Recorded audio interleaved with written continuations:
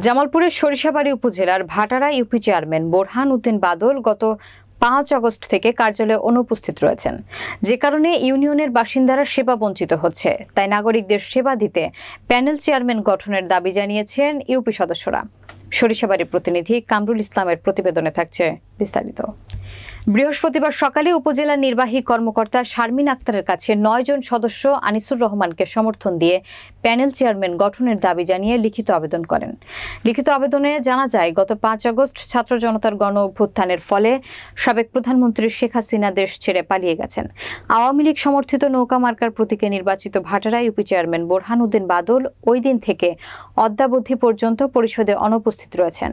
যে কারণে থমকে গেছে সব কাজ। বিপাকে পড়েছেন জন্ম ও মৃত্যু সনদ, এনআইডি সংশোধন সহ বিভিন্ন সামাজিক কাজে আসা হাজারো মানুষ। ইউপি সদস্য আফজাল হোসেন রাজা বলেন, চেয়ারম্যানের বিরুদ্ধে অনিয়ম, দুর্নীতি এবং হত্যা মামলা রয়েছে। সে কারণে ভয়ে পরিষদে আসে না।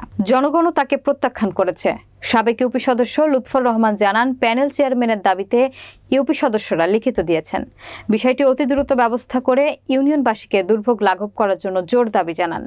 এ বিষয়ে উপজেলা নির্বাহী কর্মকর্তা শারমিন আক্তার জানান, একটি লিখিত পেয়েছি, দ্রুতই ব্যবস্থা করা হবে। শেখ হাসিনা পলাতক হওয়ার কারণে আমাদের ছয় নং ভাটারা সেবা থেকে বঞ্চিত। আমরা প্রথমে ছয়জন ছয়জন মেম্বার দিয়ে সামনে আবেদন করি ইউনুর বরাবর আবেদন করি। এই আবেদনের পরিপ্রেক্ষিতে আমাদেরকে বলে যে আষ্টজন থেকে নয়জন দিয়ে আবেদন করে রেজলিউশন করতে হবে।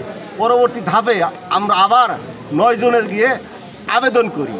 আবেদনের পরিপ্রেক্ষিতে আমাদের চ্যানেল প্যানেল ওয়ান এবং থ্রি সহ আবেদন সম্মিলিতভাবে আবেদন করার পরে সেটা আজকে পর্যন্ত আবেদন আমরা জমা দিই। জমা দেওয়ার পরিপ্রেক্ষিতে উনি আমাদেরকে বলে এটা হবে কি না সেটা সন্দেহ। কিন্তু ডিসি সাহেবের সঙ্গে পরামর্শ করতে হবে। বিগত পাঁচ পাঁচ তারিখ থেকে সরকার পতন আমাদের ইউনিয়ন পরিষদে কার্যক্রম বন্ধ। আমাদের ইউনিয়নের জনগণ খুব দুর্ভোগ ভুগতেছে। কেন আসেন না? এই দুর্নীতি করছে। মামলা আছে। এবারে ওই ওই খুনের মামলা আছে। হ্যাঁ আরও মামলা দুর্নীতি করছে।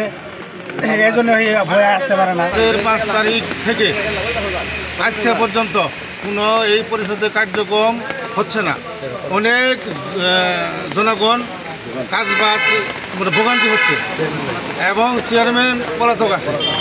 এখন আমাদের নয়জন মেম্বার আছি আমরা, মহিলা মেম্বার দুইজন এবং পুরুষ মেম্বার সাতজন।